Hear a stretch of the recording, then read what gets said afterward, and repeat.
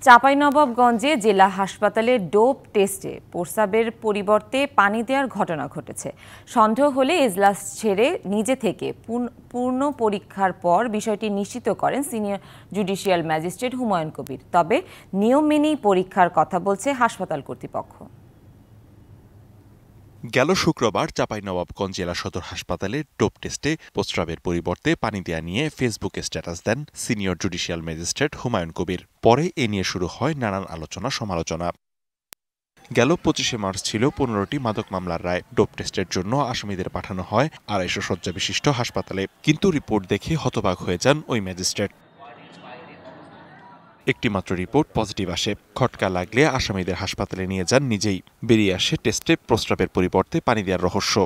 রায় দয় আমার জন্য কাজ না।